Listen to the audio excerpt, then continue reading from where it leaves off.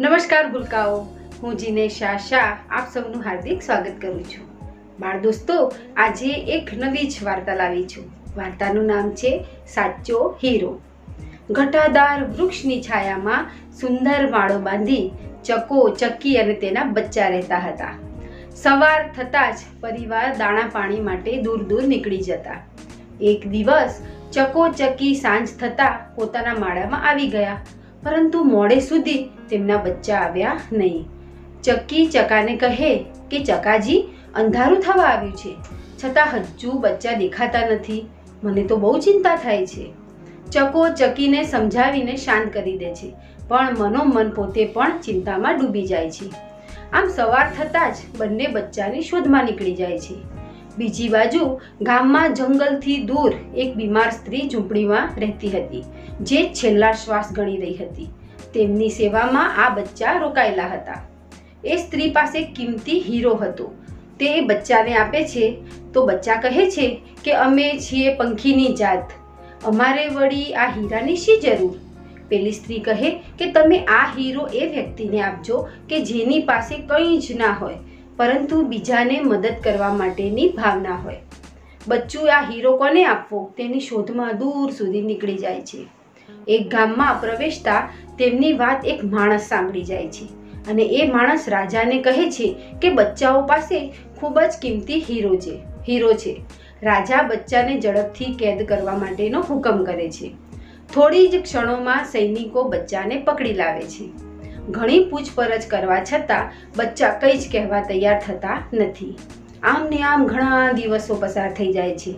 આ બાજુ ચકો ચક્કી પોતાના બચ્ચાની શોધમાં ગામ, શહેર, જંગલ બધું જ ફરી વળે છે. એક દિવસ આ જ ગામમાં આવે છે. તેમણે ગામ લોકોની વાત સાંભળી અને તો તેમને લાગ્યું કે આપણા જ બચ્ચાની વાત છે. તે પણ રાજદરબારમાં પહોંચે છે.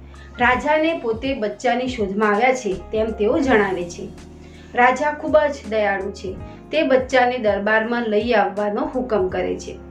સૈનિકો બચ્ચાને લાવે છે. બચ્ચાઓને જોતાં જ ચકુચકી ખુશ થઈ જાય છે અને પોતાના બચ્ચાને વળગી જાય છે અને કહે છે કે તમે સાચી હકીકત રાજાને જણાવો. પિતાની આજ્ઞાથી બચ્ચા એ સ્ત્રીની તમામ વાત રાજાને કરે છે. રાજા ચકાચકીની પ્રામાણિકતાથી ખૂબ જ ખુશ થઈ જાય છે. અને બધી જ હકીકત જાણ્યા પછી કહે છે કે, તમે મને પહેલાં જ જણાવ્યું હોત, તો તમારે આટલી બધી મુશ્કેલી ભોગવવી ન પડત. રાજા સૈનિકોને હુકમ કરે છે કે બચ્ચાને સારી વ્યક્તિ શોધવામાં મદદ કરો. તેમને કિંમતી ભેટ સોગાદો આપે છે અને તેમને વિદાય કરવામાં આવે છે. રાજાના સૈનિકો સાથે ચકો, ચકી અને બચ્ચા પ્રામાણિક વ્યક્તિની શોધ માટે નીકળી પડે છે. જંગલમાંથી શહેર તરફ જતા રસ્તામાં એક પતિ પત્ની ઝૂંપડામાં રહેતા હોય છે અને તેઓ આવતા જતા મુસાફરોને રસ્તો બતાવે, પાણી પીવડાવે અને વિશ્રામની વ્યવસ્થા કરી આપે. અને સાથે સાથે પંખીઓ, પ્રાણીઓ માટે પણ પીવાની અને ખાવાની પણ વ્યવસ્થા કરે.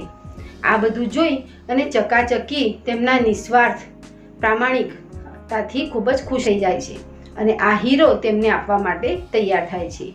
સાથે સાથે રાજાએ જે ભેટ આપી હતી તે પણ તેમને આપવામાં આવે છે. પતિ પત્ની પહેલાં આ વસ્તુ લેવાની ના પાડે છે, પરંતુ બધાના સમજાવવાથી એ લોકો લેવા માટે તૈયાર થઈ જાય છે. તો બાળ દોસ્તો, આ વાર્તા ઉપરથી આપણને એ જ બોધ મળે છે કે જીવનમાં નિસ્વાર્થ ભાવ ભાવના રાખવી જોઈએ. બીજાને હંમેશા મદદ કરવી જોઈએ. આપણી પાસે જે છે જેમાંથી બીજાને કામની વસ્તુ હોય એ આપણે એને આપી શકીએ છીએ. બીજાને મદદ કરવાથી આપણી પાસે એ વસ્તુ વધે જ છે. તો બાળ દોસ્તો, આપણે પણ નિસ્વાર્થ ભાવનો આપણામાં વિકાસ કરવો જોઈએ. મજા આવીને તો ચાલો, ફરી મળીશું. ત્યાં સુધી આવજો.